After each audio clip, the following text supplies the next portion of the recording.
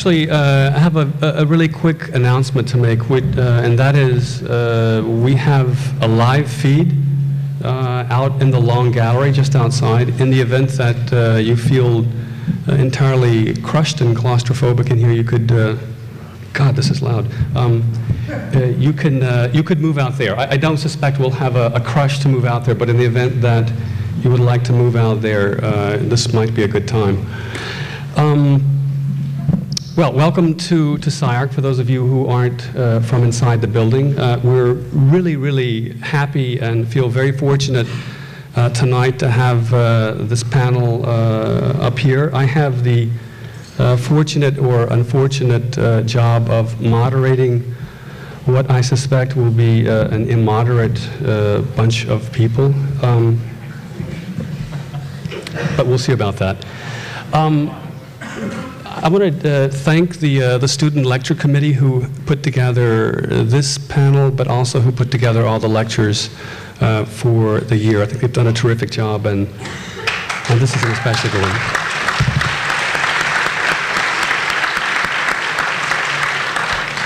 Uh, there are a couple of other quick announcements. Uh, one is that Peter Cook's lecture uh, will be November 17th at 7:30. It's not on the poster, but it will be uh, November 17th at 7:30. It's entitled "Passing Through Super Houston Towards Avignon." Uh, he'll be visiting SCI-Arc uh, for several days with a group of Bartlett tutors and students. Uh, I, I also want to announce that there will be a reception in the undergraduate gallery following uh, the panel discussion for Hybrid Space. Uh, it's a book published uh, by Rizzoli, uh, and it's edited by our own uh, Peter Zellner. So it's uh, right out in the undergraduate gallery. Um, no applause uh, yet for Peter. Yeah. Yeah, I want to just give a, a, just a quick word about the format for the discussion. Each presenter will have 15 minutes to make a presentation. After each has presented, we'll have an open discussion, which, uh, which I'm going to attempt to moderate. Um, the speakers will appear in the order of, uh, of introduction, uh, of the order in which I introduce them uh, in just a moment. But first, I, I want to give maybe uh, a, a few quick uh, um, um, words about an explanation for the title of the series and, and, and, and make some guesses. Um, and I'm going to read. It's just going to be, it won't be long, I promise. It's hot in here. Um, following Corb, uh, and Jeffrey Kipnis, uh, two auspicious uh, authors, uh, both of whom uh, had penned an essay entitled Towards a New Architecture. A number of students on the lecture committee had the, had the intuition that something connected our speakers beyond the fact that they all share an interest in the work of French philosopher Gilles Deleuze, and that Sanford Kwinter, in several articles in the Any Publishing World, had identified them as a group. Indeed, in an aborted manifesto given or delivered uh, more than two years ago in Rotterdam, Kwinter identified them and himself as an emergent avant garde, restless with the process based work of their forebears, uh, namely Peter Eisenman, and ready to get on with it. This is what Kwinter wrote. The late 20th century may one day be known as the dawn of the algorithm. If so, we wish to be the first to embrace the new rationality that sees space and matter as indistinguishable, as active mediums shaped by both embedded and remote events and the patterns they form. For us, the new design envelope is an organon in the making. It is comprised of a will to technique and an ethos of research. Now, Kwinter's eloquent speech certainly resonates with the work, or with much of the work we'll see tonight. But the student's intuition, I suspect, had more to do with an insight gleaned from a close reading of Kipnis's essay, Towards a New Architecture. There, reversing the polarity of the decorated shed duck distinction made by Venturi, Scott Brown, and Izenour in Learning from Las Vegas, Kipnis draws a distinction between what he calls information and deformation. His own interests were in deformation, a kind of experimental architectural practice concerned with, among other things, developing new forms that no longer labor under the postmodern or deconstructivist necessity to represent. Kipnis is, is one of the first calls for a post-semiotic, post-representational architecture. It is this interest in post-representational form, I think, that connects all of these offices. UN Studio has for some time been fascinated with the diagram and with what they now call spin and the network, while Greg Lynn and Karl Chu have sought a more abstract design protocol in computational and animation strategies, both of which are decidedly not representational. Kipnis was early uh, on interested in Eisenman's weak form and later developed with Bahram Shirdel what he called, that is what Kipnis called, black stuff, a kind of abstract, almost non-representational form. Kipnis's current interests uh, in affect and in architectural sensibility stem from uh, this work, I suspect, on black stuff, although I'm not sure. So there are a number of things that connect these panelists. They, are, they all know each other. They share some enemies uh, and many friends. Now, I hope we all are among the latter. But in the, but in the event that we're not, I should warn you all on the panel that we're perfectly well prepared for either an episode of Donahue or Geraldo. Uh, now, uh, I want to introduce uh, all of the panelists, uh, and they will uh, give their presentations in the order uh, that I present them. Um, Karl Chu is going to go first, Ben Van Berkel and Caroline uh, Caroline Bos is are going to go next. Greg Lynn will go third, and uh, Jeff is going to go last. Jeff Kipnis is going to go last. Uh, Karl Chu received his Master's of Architecture from Cranbrook Academy of Art and is a principal of the firm uh, Excavia in Los Angeles. I'm sure I didn't pronounce that right, but um, in any case. His electronic manipulations have been exhibited at UCLA in Genetic Space and published widely in AD Magazine and Any Magazine. He has lectured and taught at the Technical University in Vienna, University of Houston, and the Department of Architecture at Anuak University. Uh, and is in addition, uh, and for us, uh, we're very happy, uh, is uh, a SCI-Arc uh, faculty where he teaches design studio and advanced drawing.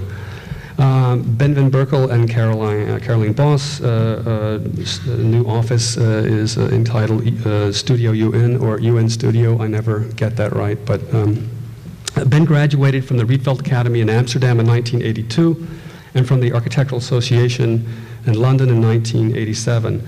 After practical experience in the offices of Santiago Calatrava and Zaha Hadid, he started with art historian Caroline Bos, uh, a 1989 graduate of the University of London, an office uh, in 1988, which this past year was renamed UN Studio. They're the authors uh, of an incredible uh, new architectural tome uh, entitled Move, published this year by their own office and Goose Press. Uh, they have many buildings to their credit, credit inclu including the Karbouw and ACOM buildings, the REMU electricity station, several housing projects, and more recently the famous Mobius House, which is now featured in the Unprivate uh, House show at MoMA. Uh, they're perhaps best known for uh, as the designers of the uh, spectacular Erasmus Bridge uh, in Rotterdam. Um, Greg Lynn. Uh, Greg graduated from Miami University in Ohio in 1986 with two degrees, one in philosophy and the other environmental design. He graduated from Princeton University with a master's in architecture in 1988. He's worked in the offices of Peter Eisenman, Antoine Predock. Uh, Greg has taught throughout the U.S. and Europe and is presently a, a full-time adjunct assistant professor at Columbia, uh, and he's a professor at UCLA and the ETH in Zurich.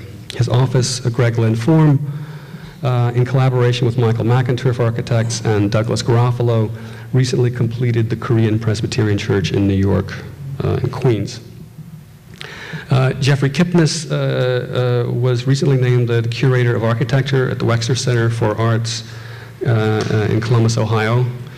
He's a professor at the Knowlton School of Architecture at, Ohio State He's visiting professor of architecture at Columbia University. He is the author of innumerable articles, books, and interventions, and for this and many other reasons has been called the Giedion uh, of the current generation uh, of architects, something that he will no doubt rise to challenge uh, during the discussion. Um, so the, so the format is that uh, we will begin with Karl's presentation. Uh, we hope, uh, we pray, that they will only go 15 minutes apiece. Um, uh, if they don't, we'll, uh, we'll make sure that they do. Um, after the presentations, uh, we're going to have a, a, a, hopefully an open discussion. I'm going to have a mic and I'm going to wander around uh, like Donahue in the audience uh, and see if you all will uh, engage this spectacular uh, group of uh, contemporary architects and thinkers. So without taking up any more time in the heat, I'm going to give it over to Karl Chu. Karl's going to present uh, then uh, Ben, then Greg, uh, and then Jeff is going to wrap it up and we'll have a discussion. Thank you.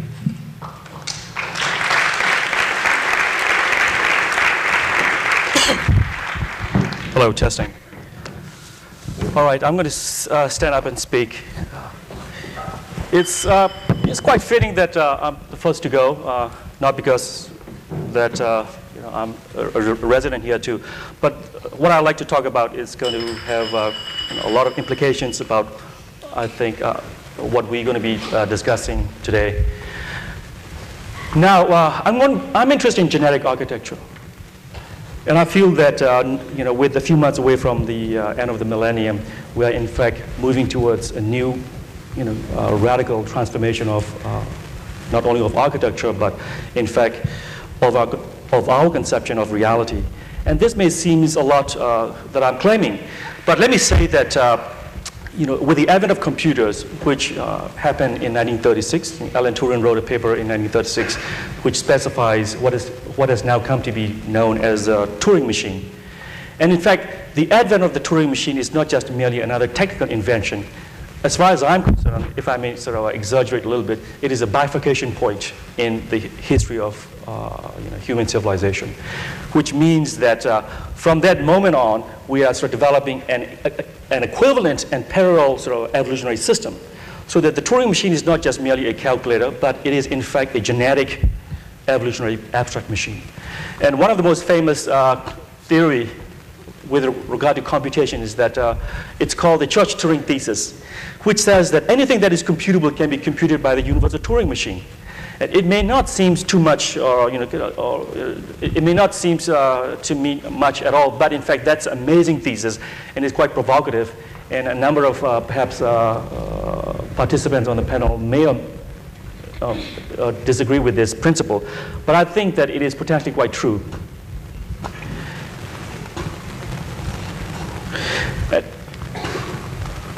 Oh, I see, I'm, I'm pointing in the right, wrong direction. And basically, uh, what it means is that uh, the Turing machine can compute anything that is physically computable, and that ultimately it's going to create its own sort of parallel universe, and that architecture will ultimately be transformed by this uh, phenomena called the Turing machine. And incidentally, all the uh, computers that we use nowadays is basically sort of predicated, or at, at, least they are based on the conceptual blueprint of the Turing machine. And if you look at the uh, slide on the left, it says that there exists an abstract universal computer whose repertoire includes any computation that any physically possible object can perform. And then a stronger version of, of the same information on the right, it says that it is possible to build a virtual reality generator whose repertoire includes every physically possible environment, which means that the Turing machine can calculate and compute and come up with an equivalent, equivalent model of anything that is you know, uh, produced or evolved, that can be evolved within the universe.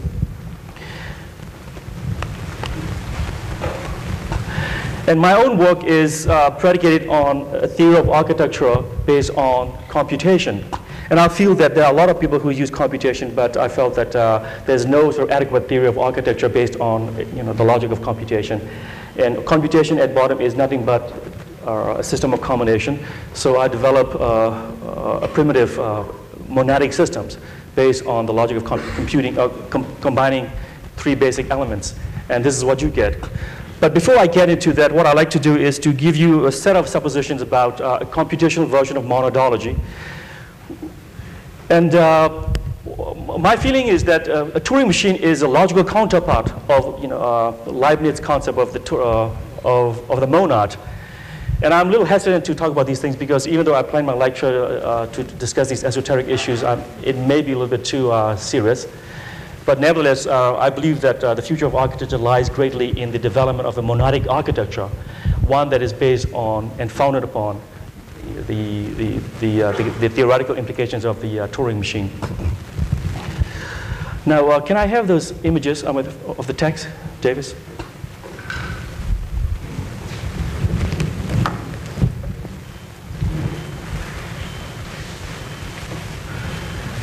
And there are three basic premises or principles that governs an evolutionary notion about the universe. And the first one says that uh, it evolves develop out of the principle of generative condensation. Basically, things are uh, develop and evolve recursively. And the second one is based on the principle of combinatorial expansion, which means that things recursively, recursively replicate and uh, build up a, an aggregation, and which further develop and emerge into uh, complex morphology. And then the third principle is essentially the principle of, co of conservation of information, which has to do with the development and construction of a universal history for each monad.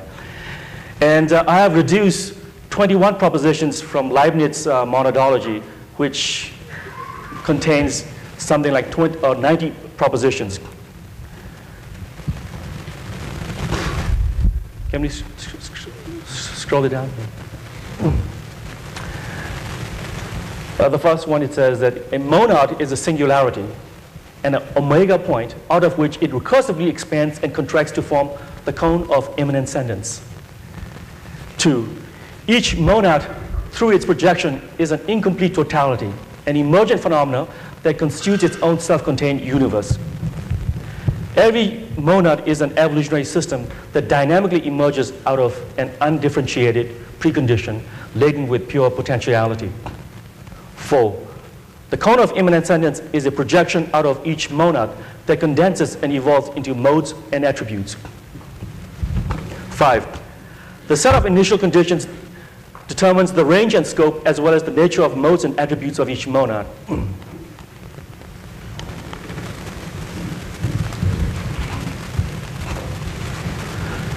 Six, modes are primitive agents or microautomatas that through the through the aggregation of functions and the interactions engender a virtual ecology specific to each monad.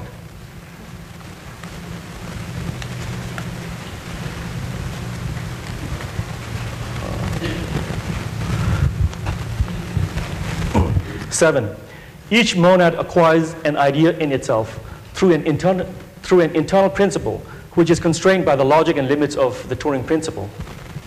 Eight, monads are transfinite complexions they are quantitatively simple, but qualitatively complex.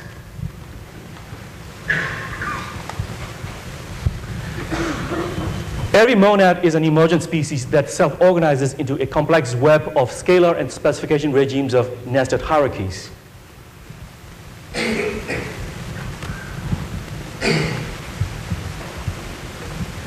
By the way, uh, if you can substitute monad with a Turing machine, I think it, it will do just fine. Each monad is a, each monad is endowed with the principle of sufficient reason, which in turn is an extension of an attribute of universal reason or logos. 11. Every monad has a point of view derived from the synthesis of multiple points of views, a model of multiplicity in unity. Each monad engenders an internal model or perception of the world, and each is a mirror or reflection of every other monads. 13.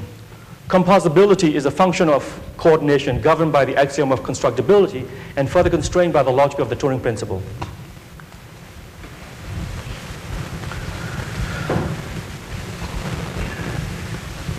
Fourteen.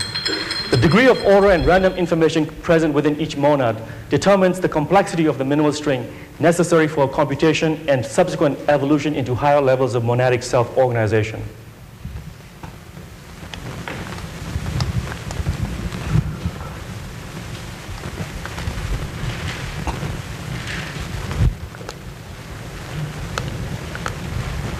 Monads are modal entities that participate within the context of a unique set of possible worlds.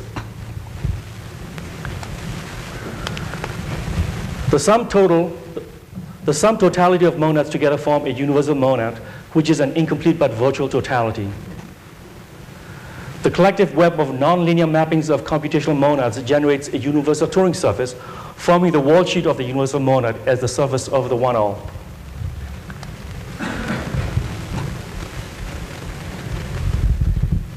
18.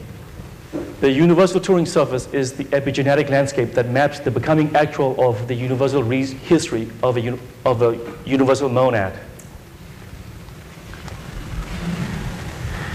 A universal monad is a demiurgic expression of a species of possible world out of an infinite number of possible worlds. The emergence of critical self-consciousness out of the omega point further propels each monad towards the sphere of omniscience, which is indicative of the messianic moment that, is, that still awaits for the fulfillment of architecture. And lastly, architecture is a provisional onto organology, a mapping of the states of monadic self-organizations onto the world sheet based on an ethics founded upon metaphysics. And so basically what I'm trying to do is to develop a, a theoretical proposition that, uh, you know, uh, that I can use to generate, for, at least for me, a new kind of evolutionary architecture. And the images that you see on the right is, are essentially experiments of what I would essentially call a very primitive form of um, monad based on the L systems. L system is essentially a type of branching system uh, invented by a Swedish biologist by the name of Aristid Lindenmayer. And it's, it is a branching system, and I've developed these combinatorial relationships, relationships and mappings to generate these uh, images. And for me, they are proto-architecture, even though they are not quite buildings yet. I have every intention to develop and evolve them into buildings so that perhaps one of these days we can literally grow uh, buildings within the computational environment.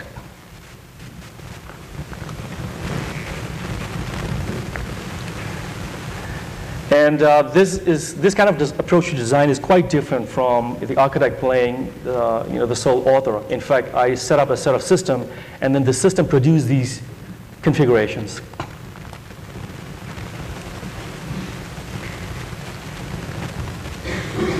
And the fact that they look like plants in quasi-biological sort of uh, you know, forms is really a product of the type of mapping system that I use.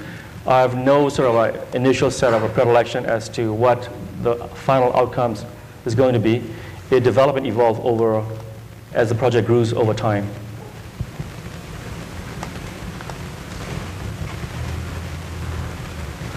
So my basic premise is that the Turing principle, the Turing machine, is an evolutionary system, that it is an intrinsic part of the universe, and that uh, in the future uh, it's going to permeate both into the landscape of the physical world outside as well as into the biological systems of our own body so that we will not be able to tell in terms of who, what, when, or you know, what things are happening so that the notion of subjectivity and identity itself is called into question. And ultimately, I think it's, um, it's terrifying. At the same time, it can be quite wonderful so I think it's a very complex set of uh, proposition that uh, Alan Turing has made uh, in 1936. Thank you very much.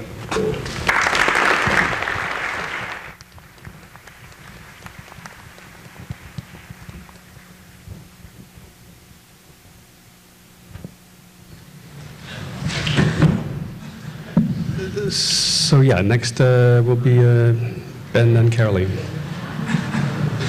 Yeah?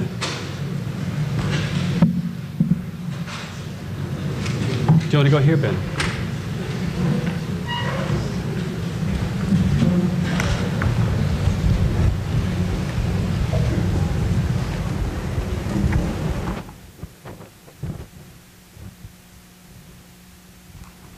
And your uh, laser.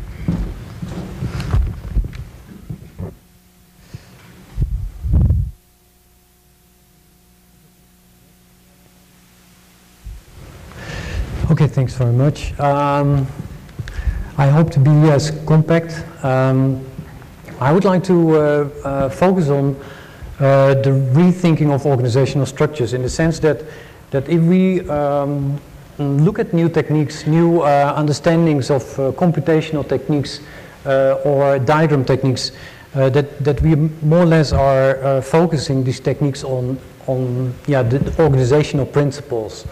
Um, the first two slides are saying something about uh, new techniques in the sense that on the right slide you see how in medical science today we can uh, map the most amazing uh, uh, aspects of the body. Uh, and if you compare medical science towards architecture then, or in relationship with architecture, then, then you could say that we are uh, a little bit behind in the sense of, of new techniques.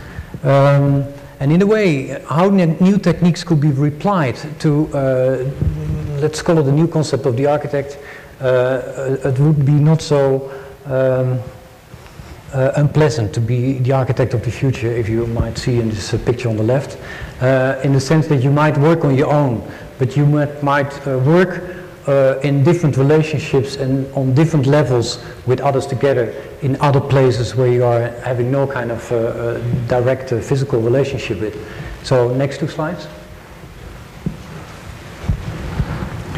Um, this whole aspect of the rethinking of organizational structures comes in our work uh, back in the way how we have analyzed um, uh, organizational principles in earlier te techniques used before.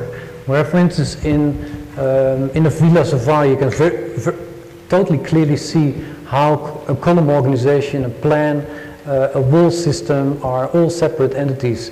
Uh, and in the relationship with earlier uh, collage techniques uh, and maybe later, um, yeah, you could call it blur techniques, the, the displacements of the organization are connected in a particular way. But what is quite incredible with uh, computational techniques today is that you can uh, generate these images uh, whereby, let's say, the information of a man, a snake here, and a line are combined in a manimal, but you can't see the seams.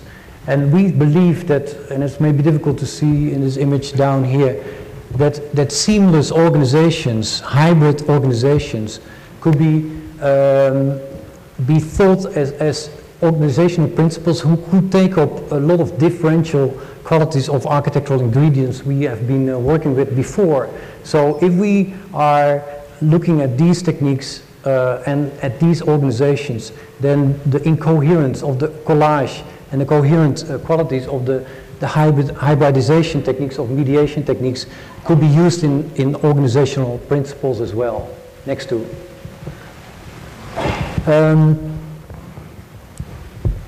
and if we could say that, that before we worked with oppositional strategies where infrastructure and built form were uh, seen to be dialectical uh, opposi oppositional uh, systems, how could it be today that we could look at more relational organizations where different values come together? And specifically today with computational techniques we can map time in a much more easier way than, than we could do before.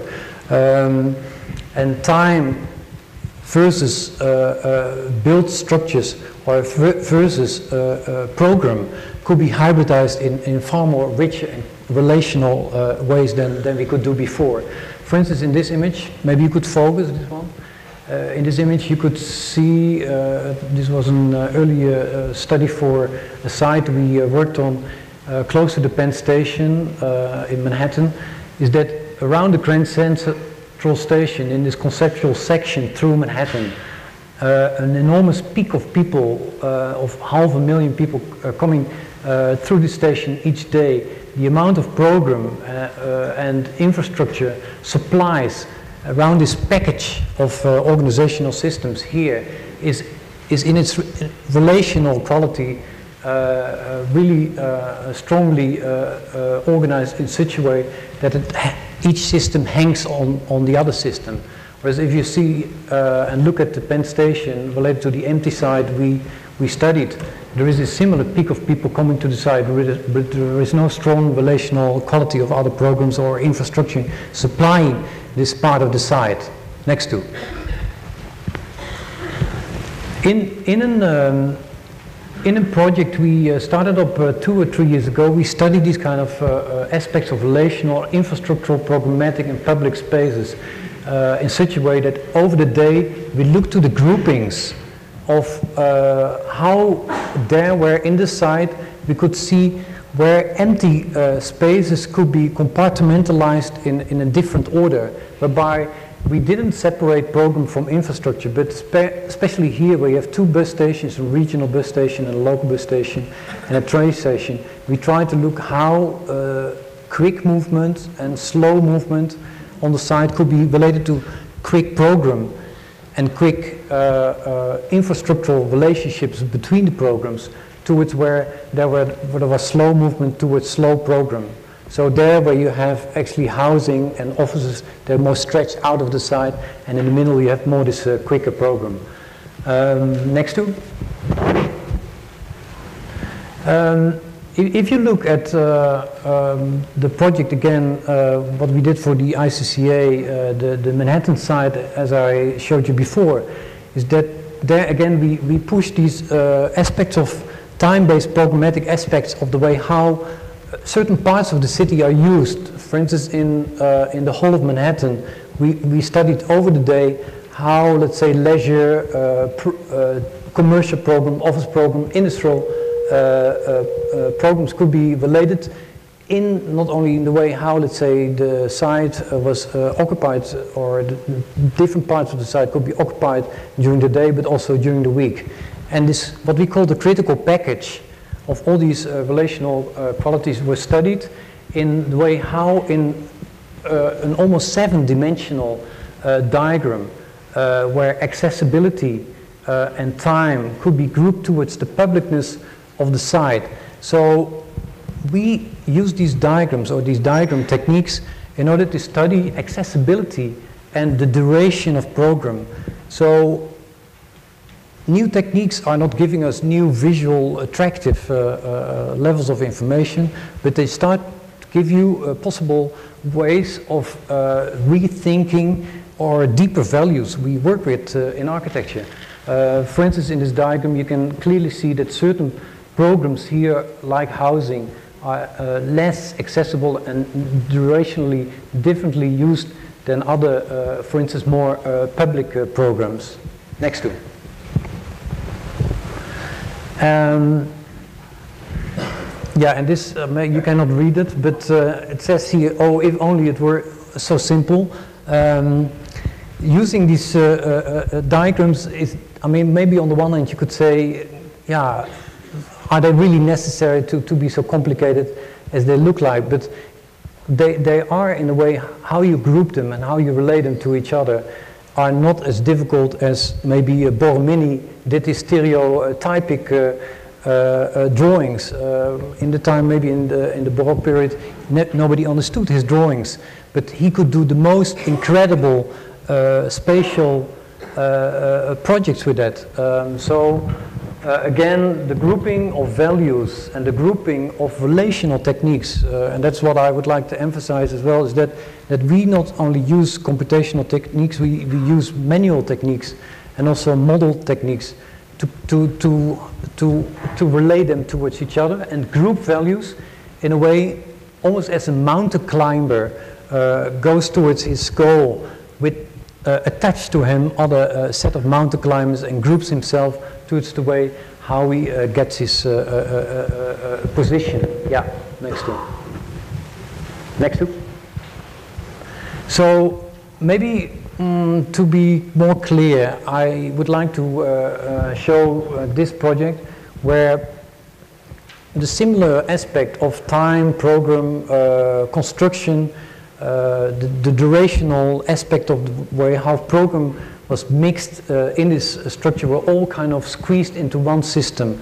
Um, so coming back to the manimal uh, I showed before, it is here so that you have one spring-like structure, what actually uh, vol in volume takes up uh, this program for a theater, a music theater in Graz. Uh, and it actually, uh, it starts with, with the major functions towards uh, the, the, large music center uh, at the center of uh, the building in this uh, linear system of the way how the client wanted to group his program. But we said that that this space needed to have uh, an, an, an, yeah, a, set of interrelational qualities because the density of the program was so tight for the site that, that he not only program but also the way how you would move through the system uh, could be squeezed into each other so that uh, one line, one, one coherent system would take up all the architectural ingredients like program, like construction uh, into one system. So, so one, one part of the, the space hangs into the other space in order to, uh, to be part of the, the whole organization. Next to. And see maybe better here how that works. So the spring structure hangs into the major spring structure at the end of the building. So um, again, th- there are no columns here. There are no the walls become floor, floor become uh, ceilings, and they, they hold each other up in, in one system. Next to. And this aspect of uh, relational techniques, relational uh, uh, values we group in, in our projects, uh, maybe in these new coherent organizations, like maybe in the recent uh, Möbius house, we are, we are not only interested in the organizational effect or the organizational principle and, and the way how the these effects are generated by these new techniques, but we are specifically also interested in the relational uh, quality of this effect, whereby maybe, uh, maybe referring back to the face, that where the black hole in the face or the white wall of the, of, of the face could be, um, could be squeezed and, and twisted and be uh, more, and, and rethought in its organization.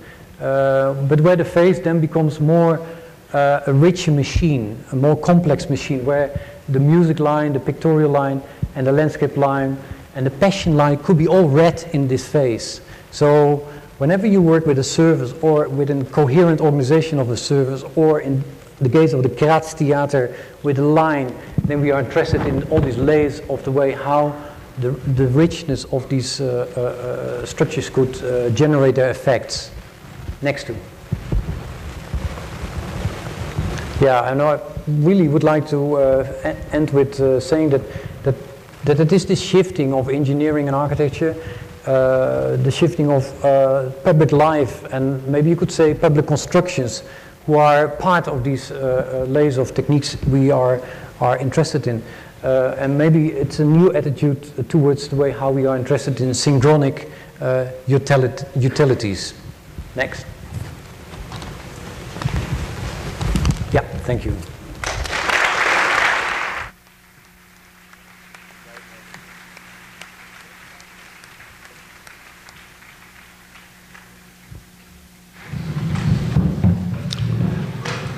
Greg Lynn is next. Although, uh, Michael, you gave an incredible introduction, there was one similarity you left out, which is that two years ago at a conference in Rotterdam, Winy Maas said that all of the people on this panel, plus uh, Foreign Office architects and Reiser Umemoto, were involved in a neo Art Nouveau movement. And I think Winnie felt that that was a damning, damning condemnation, and I actually thought it was a, a very interesting proposal. So tonight, I thought I might just pull out a few of the Art Nouveau themes in terms of tectonics and uh, spatial effects that might hold all of us together. Um, first, I'd want to just say that Giedion and Pevsner included the Art Nouveau within uh, language of modern architecture for two principles at least.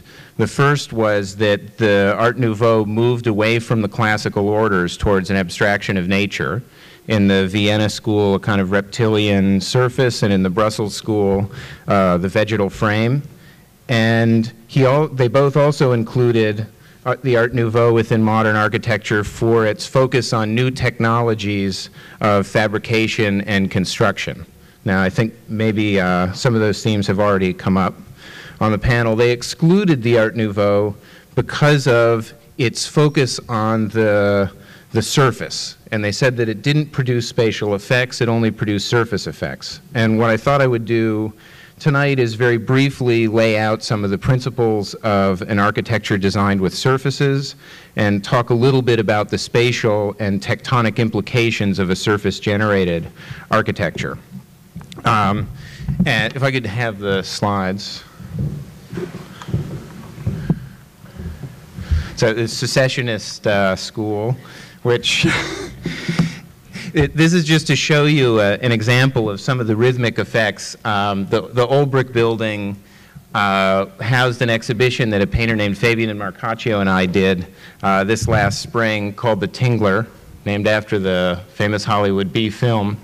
And what I thought I would show you is a, a way that we tried to connect the vegetable or cabbage dome of the secession building with the gallery spaces. And so we took that dome as an originator and dragged it through the space and let it drift through the galleries. And it produced uh, a smooth and continuous surface.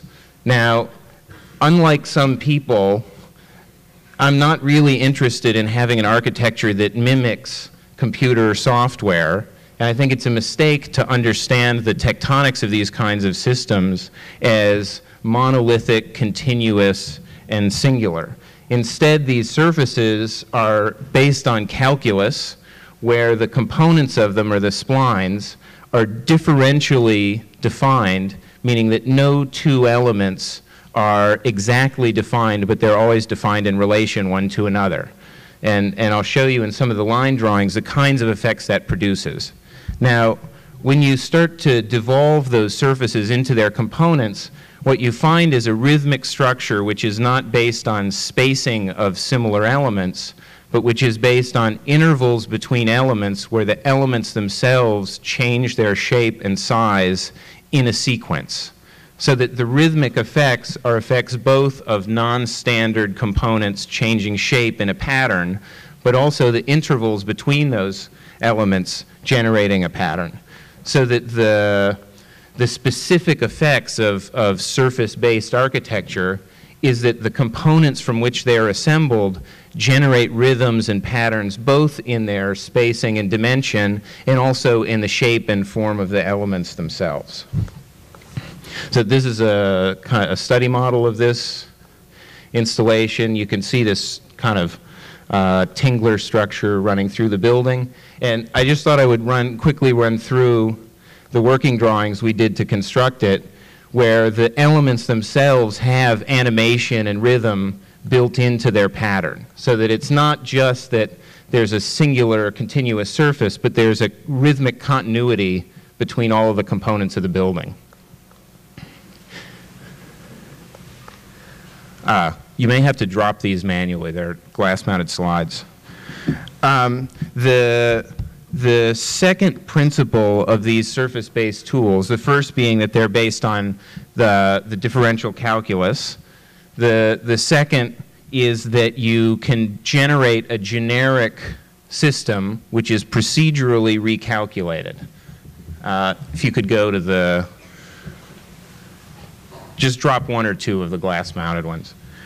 So the, the, the, calculation of these surfaces is procedural, meaning that you can build in information, you can calculate it once and go back and change that information, and all of the components within the system are simultaneously recalculated. So you get, uh, for free, let's say, an organic holism.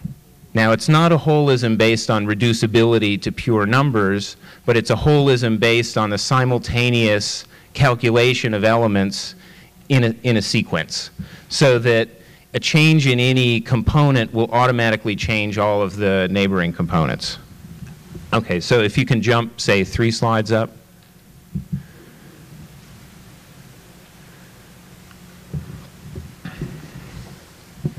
Okay, well, that's a view from the, the structure back out of the dome and into the city. Okay, if I could get the next. Uh,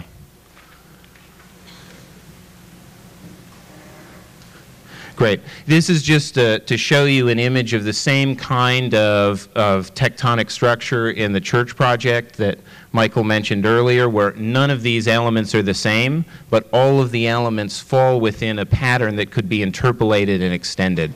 So that again, when you're in these spaces, your eye reads them in terms of a flow or a motion that can be extended beyond the elements. So it's not as if you look at the elements and reduce them to a standard or read their variation against a pure form, but you actually read them rhythmically rather than against uh, an origin point. And, and I think one of the third principles is that fractional numbers are equally valid to whole numbers, so that when you're working with a differential equation, numbers like 3 and 7 and certain harmonic proportions get replaced with rhythmic proportions. And clearly that's something that appears in these beautiful images of Karl's.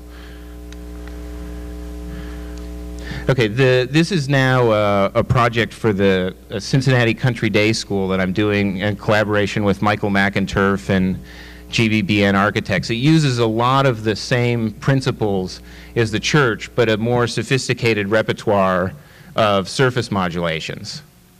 So similar to the church, it's a long span shed structure, and hanging from that structure are a whole series of small uh, building envelopes.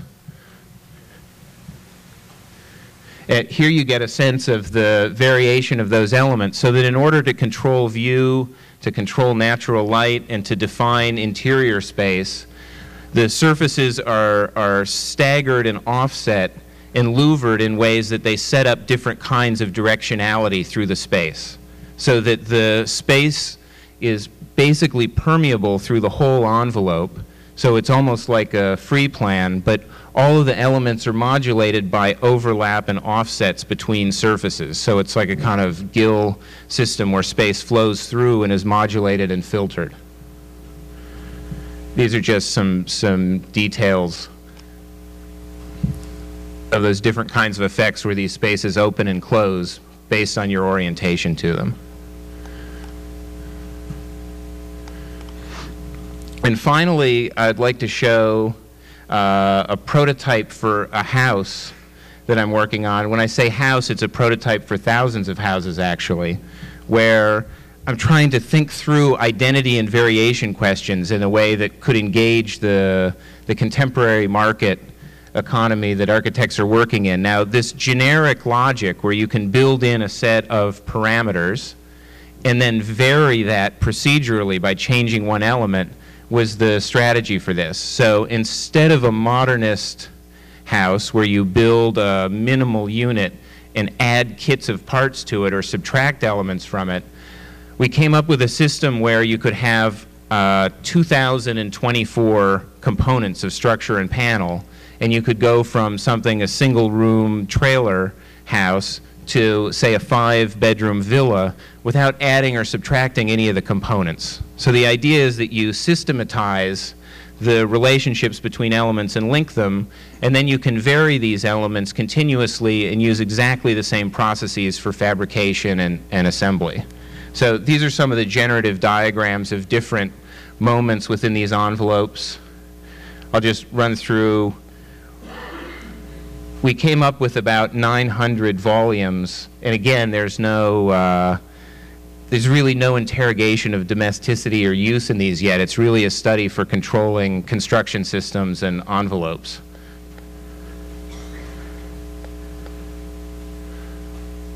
And we then took these elements and started to divide them into groups of components. The first technique was to break each panel down, group them into eight bands, template those surfaces out in a planar way, and then cut them with a robotically controlled high pressure water jet.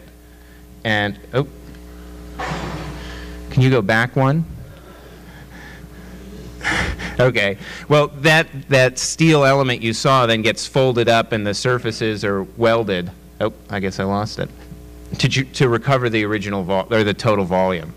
The second technique was to mill panels out of blocks of, there it is, out of blocks of material and, and explode this, the panels into chips or double curved surfaces, but lay them down as a flat panel and skin them into a single landscape. You can see the single landscape on the bottom. Then we could mill out of a material all of the panels and reassemble each one of those panels from the landscape to achieve the, the surface. And I think we did about 10 or so of these, you know, the largest ones being about a meter and a half long or so. So, and, the issue for jumping the scale up is just increasing the size of the panels that are cut with the, the robotic mill. So then, most recently, we took six of these prototypes and started to develop them at a full architectural scale. Here, where you see the six volumes, we, we calculated shading devices which would look at inflections in the surface and put shading elements only where south-facing exposures were, and you can see that the, the material is calculated on the form in a very organic way, the way, say, moss would grow on the north surfaces of a tree. The shading elements formed only on the southern exposed surfaces. Oh. Elevations of those six prototypes. Again, each one of these has exactly the same number of elements with exactly the same adjacencies and neighboring elements. And finally, the working drawings that we developed where we templated out and exploded each one of those elements and described them independently. But again, you can see the, the kind of rhythmic pattern effects of the surfaces in the way that you get a, a repetition which is non-standard and, and not identically repeated, but in fact has a kind of rhythmic change in form and dimension. And that's it. Thanks.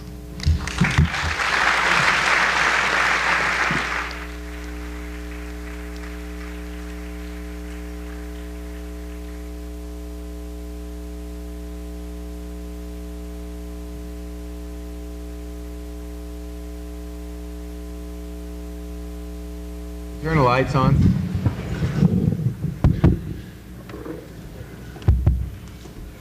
Is that a no? I'd like to have the lights turned on to reduce the expectation that I can show anything any more spectacular than what you've heard. Thank you very much. You'll uh, forgive me if I don't try to compete with the work you've seen on the screen. I can't do it. Um,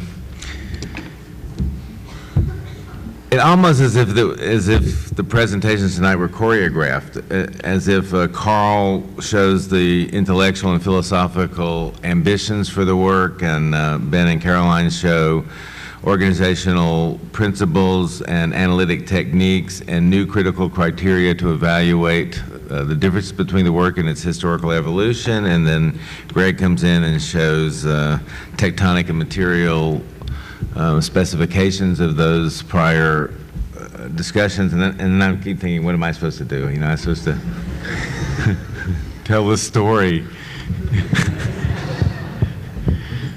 Why we do this. Uh, so I'll try to do that.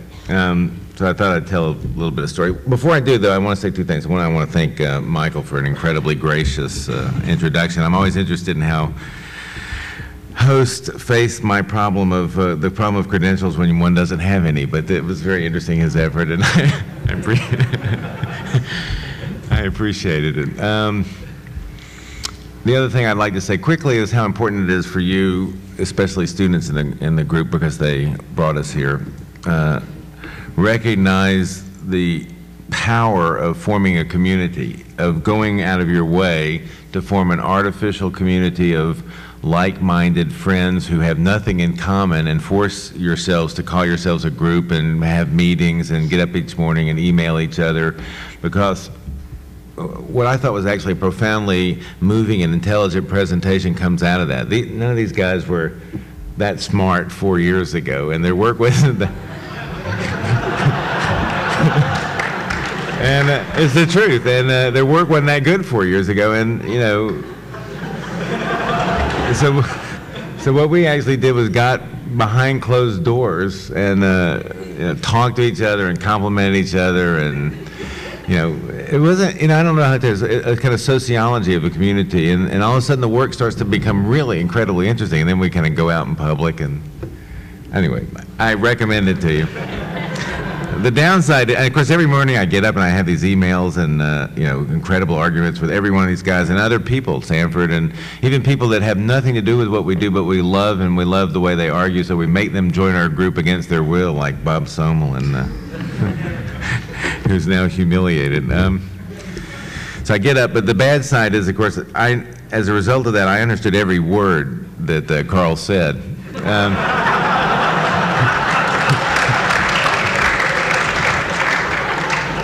so there is there is something. I don't know.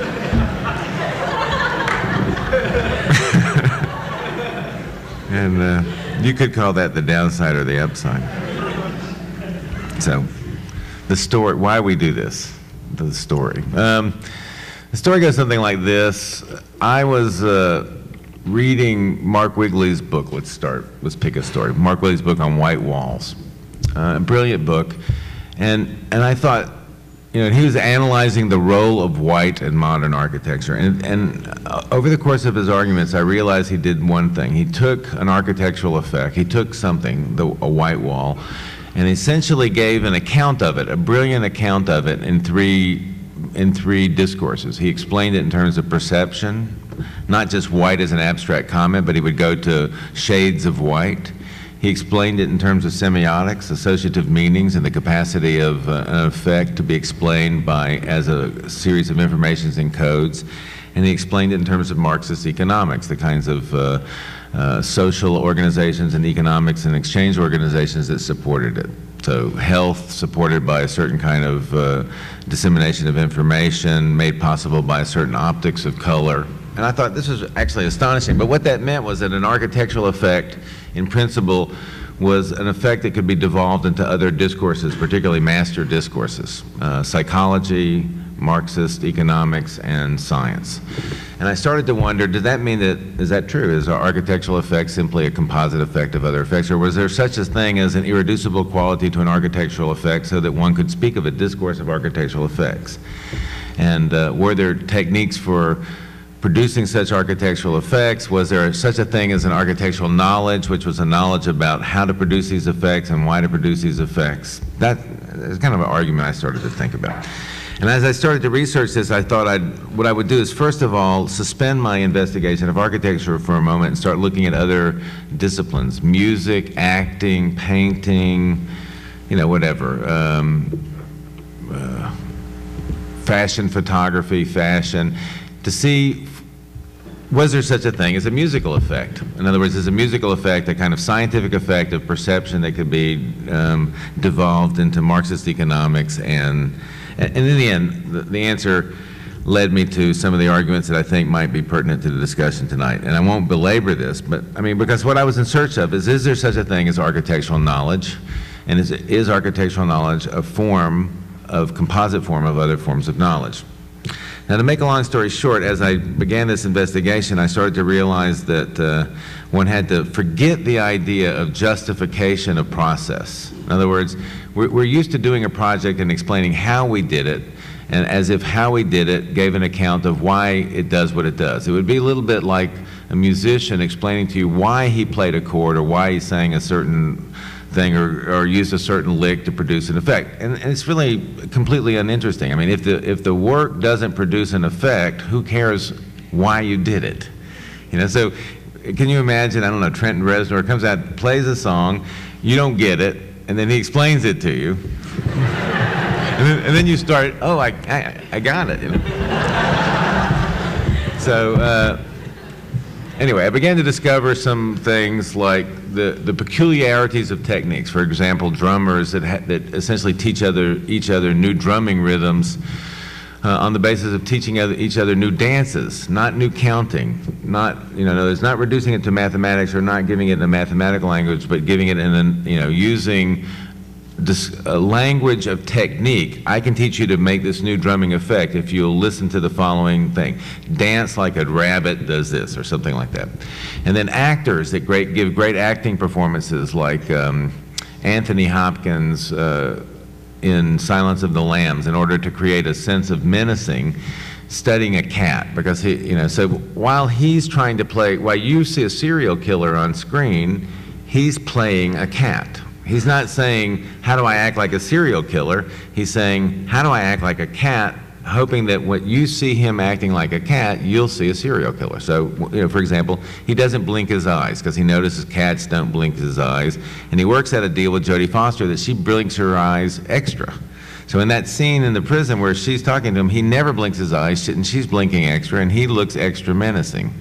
So, so these are incredible acting effects that have nothing to do with some universal form of knowledge, either mathematics or Marxism or semiotics, that, that are specific to the material practices of um, to the material practices of an organized form of social or cultural practice. And I began to get increasingly confident that architecture had such things, that architecture would produce architectural effects, and that architecture could, produce, could develop research and technique and knowledge, but that it would not necessarily take the form of sounding like or looking like scientific research or scientific knowledge or even semiotic research or semiotic knowledge. It wouldn't even have to make sense. It would just have to be produce additional architectural effects and communicate as knowledge among architects. So, in a certain sense, I, I began to argue about the eh, two things. One is the material specificity of knowledge. So, in a certain sense, I disagree with uh, Karl about the universal Turing machine. I do not believe that there will ever be that there's such a thing as knowledge that can be abstracted from its material practices, and therefore I offer the idea that instead of thinking about architectural knowledge, we talk about architectural expertise, and that we undertake a process of architectural research to produce architectural effects and increase architectural expertise. Uh, and I think actually they're already doing it. So, I'm, like I said, I'm just telling the story about what you saw. I, am not arguing about that. Um, and it basically had to do with something like this. I mean, all, all computers, and they use a lot of computers, in order to do a computation, have to abstract essential information from an enormous sea of information. So, in order, in order to do one of the formal uh, um, manipulations that they do, the computer has to do a limited number of computations which it believes to be have abstracted the essential properties of the enormous number of calculations that the material logic it would, would itself do. And what the architect does through his own expertise and knowledge is to go back and restore the effects of those missing calculations to those computations. So I believe that it's true that everything is a calculation. It's just not true that a computer, that there will be ever, there's ever an adequate abstraction of a calculation into a computation. Hence, there is such a thing as architectural expertise. It's materially specific. It's transmitted as knowledge, but not as abstract knowledge. So, one last thing to say, and that is why would we do this? And I'll tell you one quick story and then I'll be through. I, I, got interested in, because now we have this model, I have a model of knowledge and expertise that's practice and materially specific. An actor is, has acting knowledge that's specific to the craft and techniques of acting, same thing for uh, all the other forms. But at the same time, we also know that knowledge moves from one discipline to another discipline.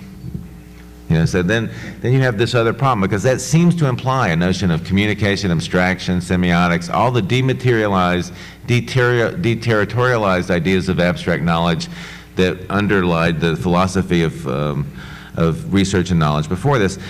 Hence, I, I, needed to find some way of thinking about how knowledge moved from discipline to discipline, and in the end, the answer to that will be through something called the diagram. I won't discuss that now, but it does. It is able to move, but what. But when it goes to the new discipline, it doesn't go in any form as a representation. So by the time he's acting like a cat, he's no longer representing a cat, he's acting. It's no longer acting, good acting or bad acting because how well or poorly he represents the cat. It's good acting because it produces an acting effect. But the diagram of the cat has migrated from the behavior of a cat to a performance of an actor. And I thought I'd tell you one more story and then we'd have a discussion. Um, you know, Leibniz, I, am also incredibly fond of monads. You know, like I said, I understand all that stuff. And uh, in 1597, the, the microscope started to um, become very popular. It was invented in the, in the 1580s. By 1597, pretty much everybody that could afford one and could read and was reasonably well educated owned a microscope. Uh, and between 1597 and 1650 to 1660, the microscope prolifer- proliferated over. It was like the cell phone, the cell phone of its times. Everybody had microscopes. and, uh, and it was really irritating too, because you'd go to a restaurant and people would pull out their microscope.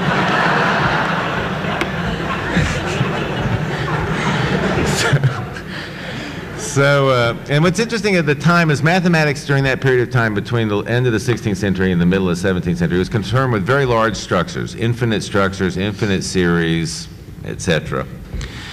And uh, if you read the monadology and you read, um, so, so 50 years, the microscope starts to disseminate um, mathematics is interested in a certain domain, that the domain of the infinite or very large um, numbers in mathematics. By about the middle of the 16th century, I'm sorry, the middle of the 17th century, um, it starts to change. And micro, mathematics starts to develop a discourse of minute structures, infinitesimals and small um, the, the, behavior of small things. So, it, and then, and of course, as you know, by, by the middle, by the end of that century, Leibniz and um, Newton have developed the theories of the calculus, and they are debating about the theories of the calculus. But what the, essentially the calculus is is the first great mathematics of infinitesimally small um, elements in relationship to one another. And at the same time, Leibniz is writing in his notebook, as he's describing the monadology, he says, There is a world, and in the world there's a pond, but if we take one drop of water out of the pond and look in it, we find a world again. And he, so he's describing the monad, and it's clearly a description in which, at that point, is representing his experiences with the microscope. But the other hand, so that's a representational moment. But the sublimation, the movement of the diagram, is the affect. In other words, his seeing that, his feeling that, his sensing that moves not as representing knowledge. He's not going to do mathematics to represent the microscopic moment. What he's going to do is become interested in this, the affect, the sensation, the feelings of thinking about a problem that has migrated from the microscope into mathematics. So, in a certain sense, what I believe is the calculus is a diagrammatic sublimation of the affect of the microscope into the material practices of mathematics. And in that model, I began to realize that all knowledge moves around and produces new knowledge by migrating not as representation, but as a diagram that sublimates into each material form and expertise, and that that gives purpose to our madness. So, thank you.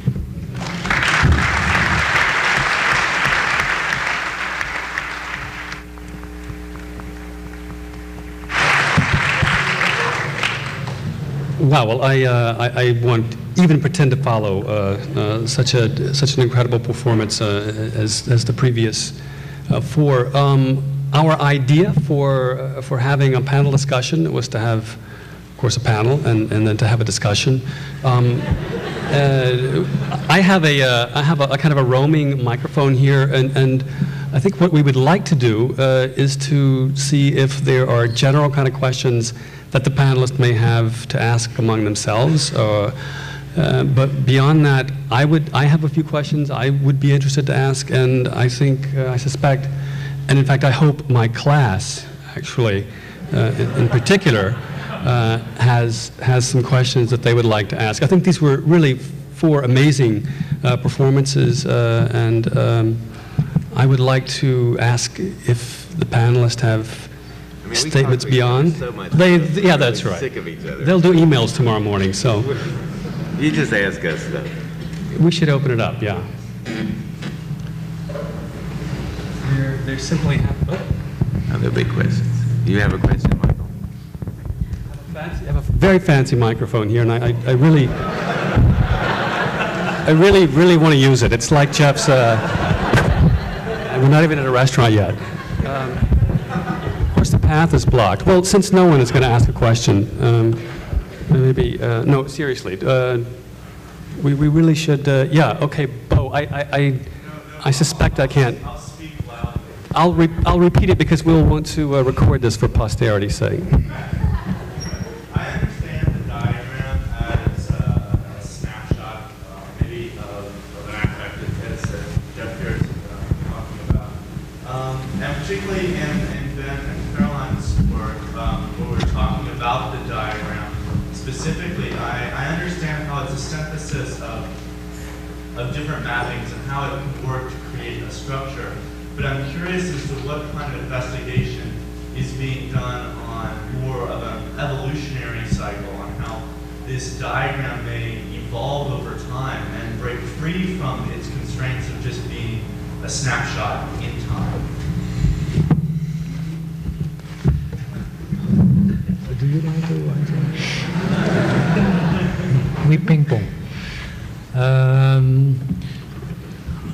It's how you handle the diagram. I mean, if you are not uh, the one who can uh, visualize or conceptualize the diagram, then then you cannot uh, put it into an organizational principle. So so if we use a diagram, and maybe uh, in that sense, I think we we all work with diagrams and maybe give all a different answer, maybe, but but we believe that the diagram is, is, is not a linguistic construction. It's not referring to any kind of reductionist uh, uh, attitude. Uh, it's not. Um, yeah, it's, it's a proliferating apparatus to work with, uh, to, get rid of other classical uh, interpretations of there where, uh, let's say, language might cheer or, or turn maybe an, an, an, an, an principle into an, an organization what is actually uh, coming from a typological organization. The diagram, uh, diagram is there to be, to, to be conceptualized. Yeah. There's a, I mean, I would also just say that the types of diagrams that architects are using have implicit in them certain kinds of, of affects. And I, I think that the question about evolution and, and motion and movement when you're using calculus-based tools like most architects have on their desktops these days, implicit in those is a certain kind of uh, motion. I mean, in the sense that calculus is, you know, often called the motion pictures of mathematics, that there's a rhythm and sequence of elements that automatically affects the way you think about the tool. And again, this procedural aspect where you can start to rerun these things and get different results by changing different factors within them also gives you a different notion of time and, and evolution. So I mean, it, it was in the, uh, an exhibition in Oslo where I'd done this kind of, you know, what I thought was a dumb kind of dome, but a dome that was generated with animation. And at the opening, all these people were walking around in loops and saying, where should we stand, where should we stand? And I kept saying, well, it's generated with animation and calculus, you're really supposed to walk around. There's really no point where you stand and get it. And I realized that implicit in these diagrams, even this thing, which was just turned from a diagram into a structure immediately, there's a different kind of perceptual model and a different kind of motion model that now, uh, you know, most of the architects we're familiar with are starting to experiment with. Should, uh, more, more talk on this? Or more talk on that, sure, of course. Um, the, the question is, is the kind of, uh, is the kind of question I think we should be keenly, we should tune our ears to clean, keenly because basically the, the principle of the question, Bo, I guess is your name, and I don't mean to attack you. Are you if you're a student though, I do mean it. But um, he's also in my class. The question, the question is basically has the following structure. There is information in the diagram. The, in, the purpose of the diagram is to transmit that information transparently. If, you, if the diagram is a mobile diagram and you stop it and pick a piece of it or use it in some other way, you're destituting the information. So it's, a, it's based on the notion of, a, of the possibility of an abstract, dematerialized knowledge which can be transmitted semiotically by, the, by this uh, innocent vector. Well, our argument is it's something quite different, that the diagram itself is, is not that. It enters into architecture as a sublimation of knowledge, but we use it because of our architectural intuition to produce the affects in organizations that we know. So a good example, I, I think maybe the greatest building I've decided right this second for me in history is, uh, is the Guggenheim Museum um, by Frank Lloyd Wright. And I love that building because uh, you have to really be careful. Uh, I love that building because um, not only does it uh, end the typology of the temple, as, I mean, art, the, an art museum is a temple, but it also is the first major work of urban infrastructure as architecture. So you, the great ambition of 20th century art was that it would be part of life um, and not appreciated in passing, but be part of life en passant. That one would walk by art, have art as part of their infrastructural life, part of the flow of the, the everyday rhythm of life. That art would become quotidian gets realized in this building as an architectural problem. I mean, as an architectural effect. So, and it, so this a diagram, in fact, the diagram of the parking lot enters into the to Frank Lloyd Wright's thinking, and as a result, he produces a building in fact, one of the very few buildings I know of where program is essential to the architecture, where the thing actually produces its architectural effects with people in it doing what it's supposed to do, as opposed to quality of space or quality of light or beauty of form. And, and it's only because an intuition about the architectural possibilities of a diagram, the ramp and the parking, are read against the possibilities of knowledge and in terms of the architectural uh, uh, expertise of the architect. So I mean, it's really important that we pay attention to where one hopes that an abstract notion of knowledge, which is always, it's actually not true that it's abstract, but it's the pseudoscientific model of, of knowledge and research.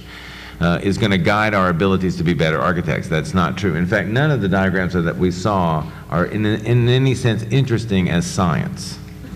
Uh, but, they, but they carry great knowledge architecturally. Does this answer your question? Any other questions? Yeah, there's a, actually, uh, Neil has a question. I get to use my, uh, Yeah.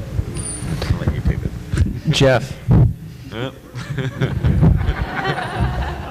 I want to probe Jeff's uh, either real or feigned sort of discomfort uh, on the panel. He's both quite comfortable, but, but on the other hand, uh, a bit nervous about a lack of credentials. But uh, I want to bring up a couple of quotes, which, in a way, there's a certain polarity, which, on the one hand, in terms of the identity of the group, needs to be brought out a little bit more. It's a, it's a sort of basic one, and, and that's probably between the idea of diagram, which itself might be a, an illustration for um, pseudo or real processes, which uh, obviously use um, classical uh, physics, classical mathematics, or 20th century developments in, in the computing system. One is by uh, Robert Ryman, a painter who I don't know if Mark Wigley discussed in, in the book on white, probably did, but his famous quote was, for me, the question is not what to paint or why to paint, but only how to paint.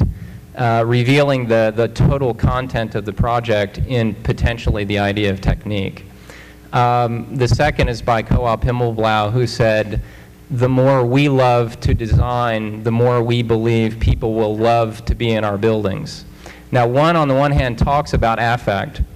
The Himmelblau position talks about affect, which is take whatever route necessary to deliver the love, so to speak. And uh, the first one is about placing everything in terms of value at the level of the how. And Jeff, you talked about actually dealing with the why. Are you struggling with the why?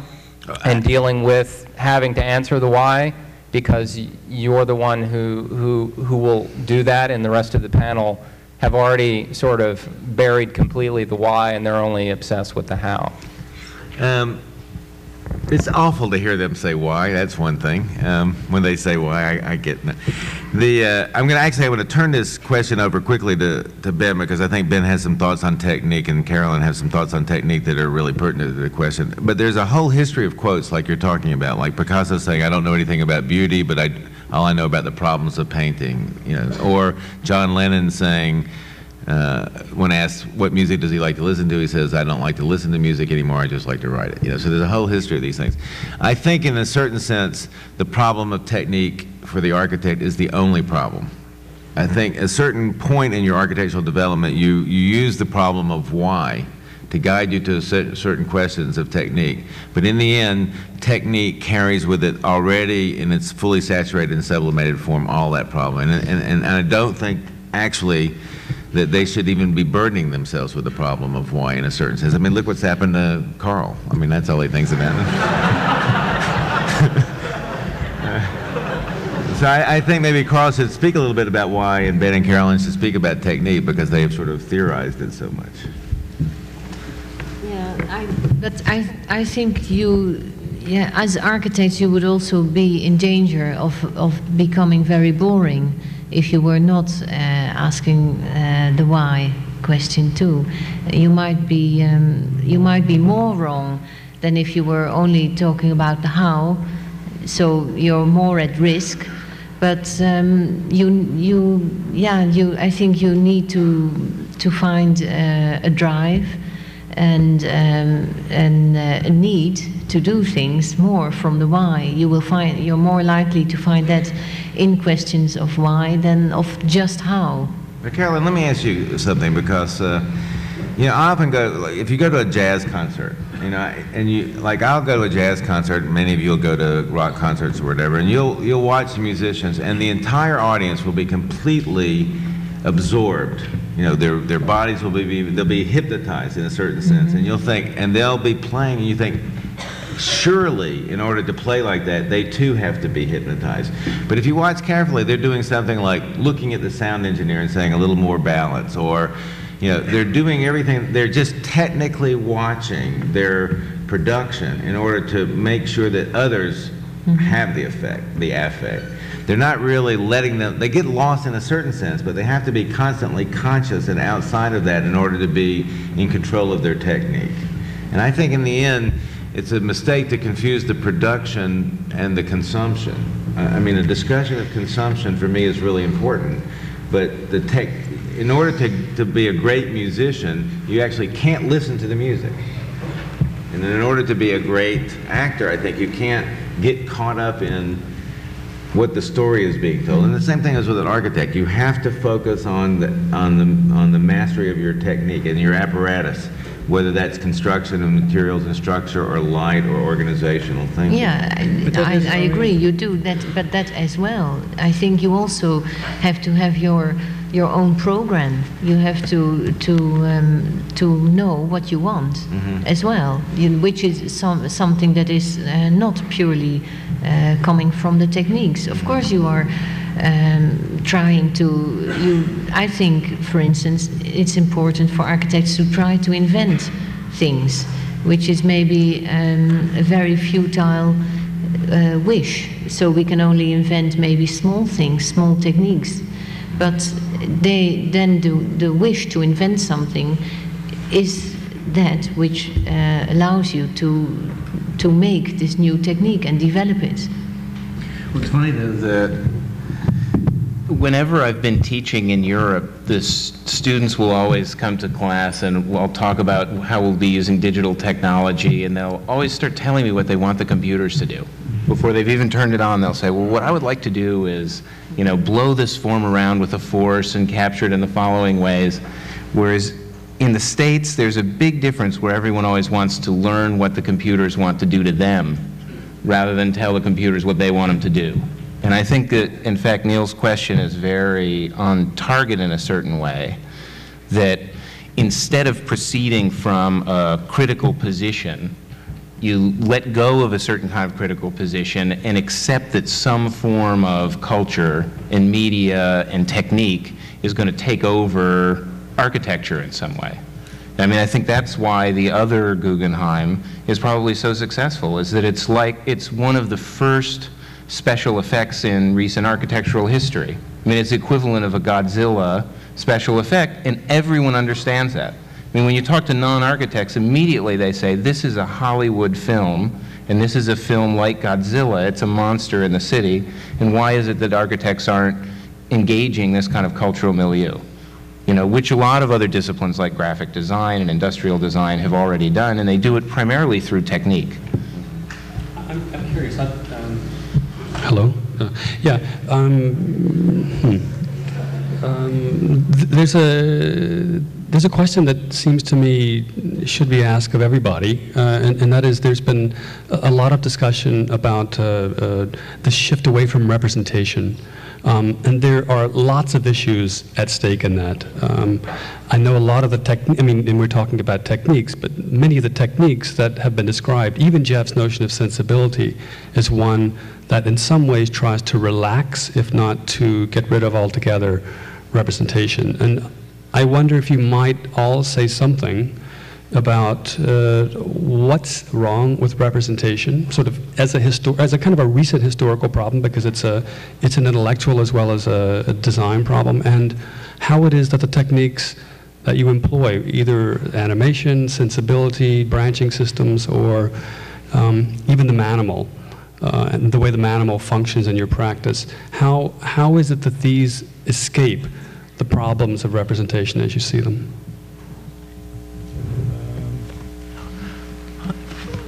I hope this microphone is working. Uh, mm, I, I think we have seen already enough uh, representations in architectural uh, history. I mean, if it, yeah, I, maybe I would like to also combine the answer to the two questions uh, from one and uh, new, in the sense that that um, if you use the techniques you work with well, then then you could maybe avoid representational techniques uh, by uh, using maybe instrumental methods instead of uh, representational methods. The instrumental is far more interesting because it, void, it voids any kind of uh, signification, uh, it, it, delays any uh, meaning given to towards the, the way what, what you produce for a building. I mean, you're right that maybe on the one hand we should not think about uh, the way how the project is consumed and be seen. And, and, and, and for that reason, maybe referring back to also mm, some, something that Jeff said, it is for that reason, coming back to the manimal, it, it is interesting to, um, to have uh, interpretation of your projects who are multi, uh, multi-dimensional in the sense that, that for instance, our uh, electricity station, what we designed uh, a few years ago, five years ago, uh, people were saying that it was a temple, or it was a kind of theater, or it was an, yeah, it was an, more to, a building related to a cemetery. Um, and, and I think that, that this kind of double reading, this instrumental reading, is is actually uh, a quality we have learned in other disciplines already. I mean, like in art, uh, Andy Warhol was the best one who used uh, experimental, instrumental techniques to avoid representational interpretations.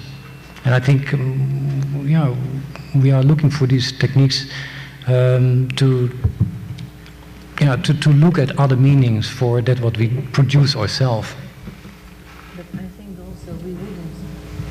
Uh, think of, of it as being why, why would we say it was wrong or not wrong? It would that would depend on the context that we were asking this question in. I i, I think don't think uh, it would occur to me to to um, to think in such an abstract uh, on such an abstract level um, about representation or you know um, maybe any other notion in architecture. So I agree very much with Jeff that um, that these um, these quest such questions are actually quite specific in architecture, and I, I it's not an, a sort of philosophy in a vacuum. So they would be representational. Um, a representational approach would only be wrong if, if it was not appropriate, for instance because you are um, you have you work in a, in a different condition and and with different programs. Farshid Moussavi said about the Yokohama Port Terminal that she and Alejandro were interested in strategies of building in representation. You know, rather than adding it on or beginning with it, that certain kinds of effects would get built into the project in an incremental way and it, that hit me in a way that it, it, there was a real resonance, and I realized that with the Korean church, Mike and Doug and I had no idea of what a precedent for a Korean church would be at that scale. We didn't know, and our only recourse was to start with basically what was a kind of featureless space and add traits like light from behind, like surfaces oriented to the altar, various kinds of traits that we would just add in, which were purely representational traits. So in the end, there was a desire to make a thing which looked and felt like a church, but we didn't start with some catalog of, of techniques. We actually tried to build them in. So, and I think that's probably another thing that would, you know, work through, you know, contemporary design in an interesting way as a shift from typologies to the orchestration of traits or effects. You know, so representation isn't a kind of master discourse, it's just a, a kind of set of, of operations that get, it add, get added into architecture. Well, um, a number of things. You know, the question of representations has, you know, uh, on many levels. Uh, I think the most trivial one is the one that, um, that, you know, we're talking about at the level of iconic representations. But at the deeper level, I think it's a deeply philosophical and problematic issue. And I, for one, don't know what representation is about anymore. Um, meaning that, um, you know, if you think in terms of uh, the, you know, reality as a form of creative evolution, and that why does things come out the way they do, and that uh, on this planet there are only but I mean there's something like 1.4 million species, but that do not necessarily exhaust the possible all possible species that can uh, you know come into being. So what creates these conditions? What you know give life? Uh, what are the conditions or the, the, underlying sort of cosmological infrastructure that gave rise to you know self-organizations? And what are the forces? What are the reasons? Or is there any kind of underlying principles? I mean, those are the issues that I'm interested in, and uh, it's a deeply problematic question. Um, and I think architecture is implicated in those set of questions. Uh, and for me, the diagrammatic sort of representation, diagrammatic relationships, and the migration of diagrams are transversal sort of set of relationships, but they don't necessarily uh, address issues of genetic sort of uh, evolutionary systems, that things evolve over time and there are emergent phenomena, and that uh, they, they seems to or have their own sort of autonomous independence or logic to it. And that's very difficult to discern what they are. I mean, even though we, in this century we have uh, come to terms with the fact that you know, there's a you know, we have cracked the DNA code and so forth, but still, I mean, that points to a condition that is uh, that uh, that you know that there is a condition of uh, reason, so to speak, but not the kind of reason that you and I speak, but uh, what uh, Heraclitus, uh, the pre-Socratic philosopher, called logos. And I, for one, for quite some time, was quite critical of logos or logocentric thinking, you know, derived from you know sort of deconstructive sort of discourse. But the more I think deeply, I realize that logos itself intrinsically it's, uh, has it's sort of a very deep sort of a, you know uh, sort of reservoir what uh, in, in in the Greek notion about mimesis. So I think is uh, the problem of rep representation is really uh, you know from is a problem of mimesis that what are the underlying principles that gave rise to everything that self-organized and evolved over time, and so you know in fact, uh, Jeff and I uh, were reading uh, a book uh, recently, uh, a, discussion between a neurobiologist and a mathematician. And according to this mathematician, Alan Connes, who's a French mathematician, he says that the physical universe is a representation of, a, uh, rather, is a representation of the universe of mathematics, and that it is a subset. Whereas, of course, the neurobiologist says that it is not. You know, nobody can sort of give you a factual proof. But one thing is certain that you know the universe that we exist, that we inhabit, are based on a set of uh, initial conditions, and that these initial set of conditions do determine the type of physical universe within which we inhabit. And there's a whole universe of possible initial conditions. So, uh, from a theoretical disembodied abstraction, you know, Jay would say that uh, the universe of you know possible worlds, you know, or rather the set of the universe of possible was much larger than the specific set of universe within which we inhabit and all the uh, you know, self-organizing implications and evolutionary structures and the, you know, plus you and I. So I think the larger question for architecture is that uh, we are implicated in the, uh, the evolution of the, of, of, of the logos and mimesis has to be addressed in those terms. Oh, please do, yes to speak in favor of representation for two seconds. Uh, but Jeff, you just, you just. Well, I know, but now that you know. Speak of representation.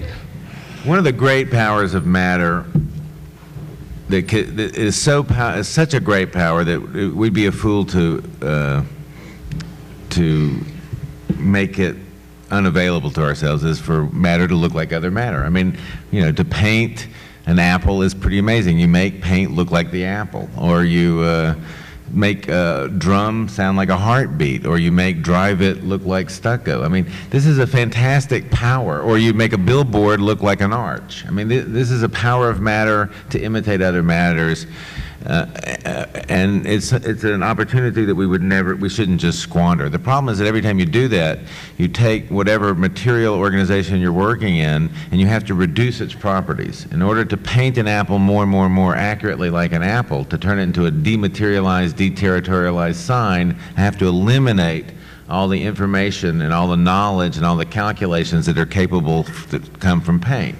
So I much prefer a Bacon representation of a face because it's no longer I'm no longer interested in the, the capacity of the painting to make to remind me of the subject matter but but the capacity of the painter to use a, a nuance of reminding me to, to, to produce an entirely new affect through the abilities of thinking through painting. So I'm not against representation only to the, except to the extent to which it reduces the power and calculation of, of matter to produce other effects. It's, it's, it's inadequate to the, to Well, I a mean, kind of an accounting of the initial conditions. Semiotics thrives on the, the notion of dematerialized, deterritorialized abstraction. It is the last gasp of a, of a notion of knowledge independent of its material relations, I mean, material practices. And yet, none of our lives are lived that way. Not one instant in any of our lives are actually lived out in the effective realization of this dream of dematerialized abstraction. So, you know, uh, uh, representation is great. It's just, it's just trivial if you devote your technique to mastering it. You know, I- it's like, you know, Caroline is saying the same thing. You, like, you, if you're asked to do something with an arch, you, you know, fine. if you make whatever you're working with look like an arch for the point of making someone see an arch and say that's an arch, that's just it. That's just stupid. You know, it's not it's not a philosophical problem. It's just a problem in triviality. So I don't think anybody in here is positioned in a certain sense um, against representation, sin- but since it's a pow- because it's a power of matter. What we're interested in is what matter, you know, what, what matter, what else matter can do. Uh, I'm, I would, um, I'm interested, for example, I don't think a cat has a bad version of a human representation of the world. I think it has an expert version of a cat's representation of the world. And I believe that that actually moves back and forth between me and my cat, you know. I, I, do we have a, a question and, oh, maybe, uh, well, we have a question from Abby and then I think Tarek has a. You know a question. everyone by name. That's really impressive.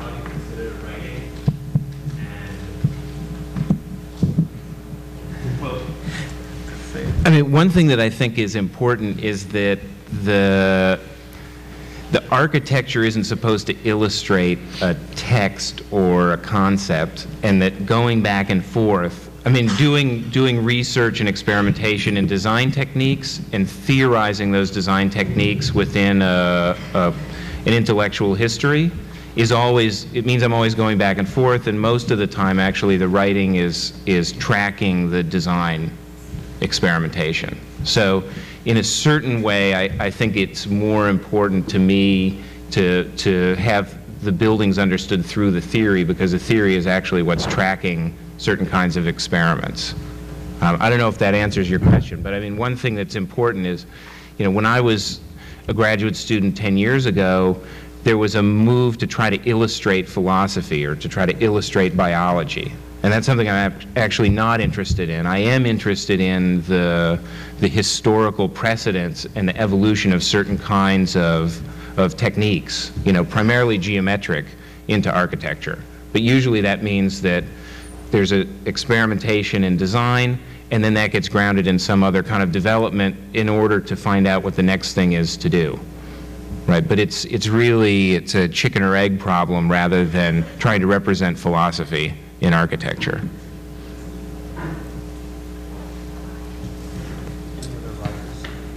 Well, I think um, if you were to live in Amersfoort, you would know our work the other way around. You would know the buildings and not the writings. And I think if it's right, then far more people know architecture through their daily uh, life and their daily experience than through um, reading, which you know sometimes we think it's uh, by uh, by ourselves for ourselves kinds of uh, writing. But on the other hand, I think um, writing for us is important because it's, uh, it consists of an articulation of our ideas and uh, a definition of our position.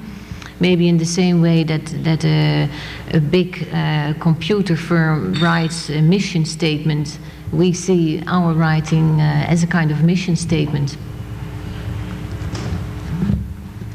Did- Ca- Ca- Caroline, does that mean that you, uh, you think we shouldn't all go out and buy your book? No, of course not. Yeah, uh, It seems like at, at the center of this argument, there is a comment that uh, Karl mentioned in the beginning of his uh, presentation that refers to the uh, esoterics and the metaphysics of this whole phenomenon. And I think uh, what Karl brought into this discussion, saying it's really about the metaphysics in architecture versus the physics, which has been the central argument of architecture throughout centuries. Now we're dealing with it on a metaphysical level, which is absolutely fundamental to, he, he came to it from a scientific computational angle, but ultimately is attempting to make architecture a metaphysical phenomenon and actually keeps it that way. And what uh, Jeff is saying is that abstract or metaphysical process that the architect is involved in during that process only stops at the point when we actually materialize architecture into reality. But what Karl is advancing is it's not true. We're collapsing the process of metaphysics and extending it into the act of materialization, and it becomes actually collapsing what Neil was saying, the why and how. The why and how is no longer, are no longer separate because it's really operating within that notion of metaphysics that Karl is, is advancing. And I think that is at the center of this argument. And if we ignore that aspect, the model that Jeff is advancing is true. But if you actually introduce that notion that Karl is talking about, I think, uh, and, and again, it refers to maybe what uh, Bacon's uh, paintings or, uh, or uh, Marcel Duchamp's were attempting to do in art, but that's precisely what Karl and uh, Greg Lynn to some extent also is advancing here. And as the model of that is not the cell, the atom of physics, but possibly is the cell of, uh, of biology, which completely puts it in a whole different realm. And if, uh, if the panel would like to take that point. Um, my thoughts exactly. Um,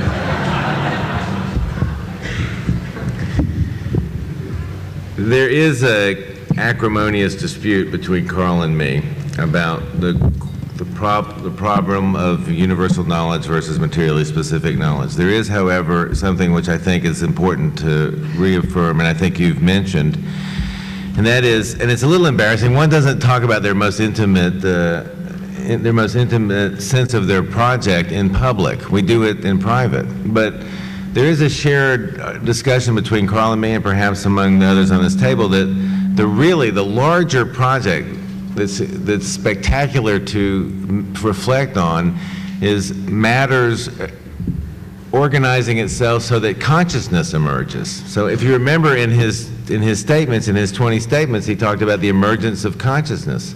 And what, you know, it's pretty, you may not think much of progress. Many of you may not believe the, in a notion like progress, but you can imagine a time, let's say if you be- believe in the Big Bang, when there was no life and then there was life. I call that progress. So there was some progress. And then, then there's kind of life and then life that talks about itself. Now I call that progress. You know, so, so there's certain big moments of progress, maybe not little moments of progress. And, and what that is, is an emergence of consciousness. Now whether if that emergence of whether that consciousness is materially specific or as a spiritual uh, issue no longer connected to material practices is, is a worthy argument. It is, however, I think, a shared ar- argument that we have that in a certain small way, architecture participates in the evolution of consciousness. And, you know, if you're interested in this problem, Hegel made a certain argument about the historical state of consciousness, which was true. He believed that self-consciousness was the end of the evolution of he believed that self-consciousness was a point in the history of consciousness. The issue now is, is was that the last point? And the, the answer is no. We, consciousness is evolving. For example, we now know that you know, when, when we look at stars, they're stars looking at themselves. So self-consciousness is no longer a property of us thinking about ourselves, but some of us reflect on the cosmos as thinking on itself through us. And architecture, writing, painting, science, all the material practices participate in the evolution and emergences of, of, new of new feelings and new affects and new consciousness by sublimating and transmitting these diagrams of knowledge. So it is a metaphysical problem, but it's not a metaphysical problem in the old sense of we need faith in something to believe in. It's actually a problem that I think that shows up in Karl's and mine and everyone else's argument as a sort of specific model of what matter does and what architecture as a material practice can do in that regard. Is that right, Karl? Wasn't that number 19 on the, you know? Pretty good. Pretty close. yeah. I got to go to the airport soon, so. Come on, you Uh, maybe, uh, yes. Uh, well, did, did, did you want to answer that, Karl? Uh, n- no, I I don't think, uh, because it's, you know, even before Hegel, I mean, uh, uh, the reason I'm sort of hesitating is because it's, uh, it's, it's, it's the same old problem that is emerging over and over again, and it's not just specific or unique to Western civilization. Uh, you know, when Parmenides, the pre-Soc- pre-Socratic philosopher, when he says that being and think, thinking are one and the same reality. So essentially, he has acquired, probably one of the first thinkers, in fact, it may be the first thinker who acquired self-consciousness uh, within uh, the history of uh, uh, philosophy.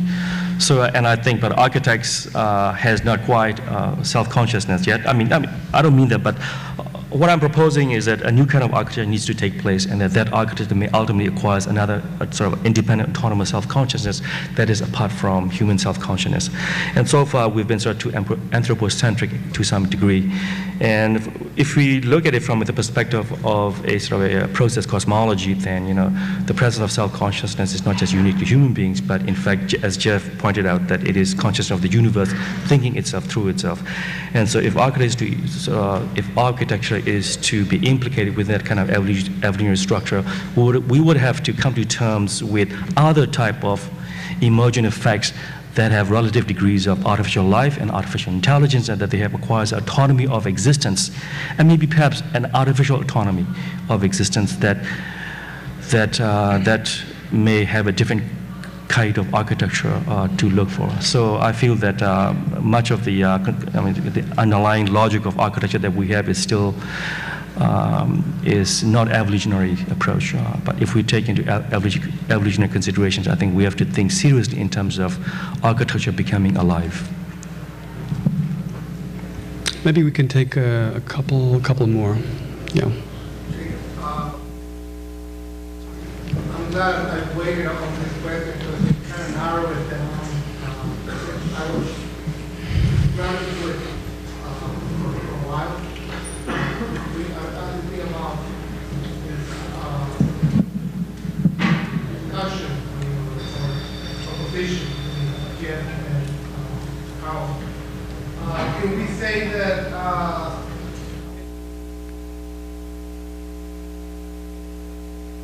question, but can we actually just say that we can forget about, uh, I mean, this has to do with the uh, artistic problem of uh, creativity, uh, creativity as an art, as, as, as this artistic uh, production, uh, this whole issue of transcendence and, and inspiration. Can we, can we just, then just, just say that we can forget about, uh, as architects, artists, just forget about uh, this inspiration, uh, this thing that always transcends us, as uh, Karl perhaps is kind of a, uh, alluding to when he talks about metaphysics, uh, and we should just concentrate on some technique. I mean, No, no, I, I think, see, the funny thing about that is I think they're indissociable. In, your argument is, should we set aside the model of creativity and focus on the model of technique? My investigation on creative, the history of creativity in various disciplines has tried, has basically argued that creative people are creative by perfecting their technique, not by setting out to be creative. And then the other thing is, uh, I mean, because I know a lot of people, for example, that have tremendously great ambitions, and if they could do in architecture what they say they want to do in architecture, we would have an incredible world. But they just don't have the technique. So the creativity is not the problem. The other problem is a model that you think of creativity as, as an individual enterprise. And in fact, I don't think so. I think we're all part of an ecology of consciousness. Just like in your, you know, you would like to say your creativity is in your brain. The fact of the matter is, like, you might, it might be 50 cells in your brain, and or do you just give it creativity? Do you give it the credit? Like if you get money for, do you give those 50 cells the, the credit? No. You, the ecology of your entire body, you understand, is part of it. And at the same time, you're part of a social ecology, not an economy. You're part of a social and material ecology. And that's why it's not surprising when a, a new thought that's creative arises, it arises spontaneously in a community. Einstein's publication of equal mc squared, which is so famous, was published 20 times. 20 times before he finally realized that it was not a mathematical artifact, but actually physics. So he could not have had the thought unless a community of creative minds, essentially working in parallel processing, made that thought possible. So this model that we think of Einstein as a sole genius with great creativity is in error. But is there creativity? Yes, creativity is the emergence of creative consciousness in a community of minds. So, I mean, I, I- think we just now know more about it. Does that help? I mean, does that answer your question? So, the, I mean, the, the, if you want to know the instrumental answer, you want to be creative, quit thinking about being creative, learn how to do your job.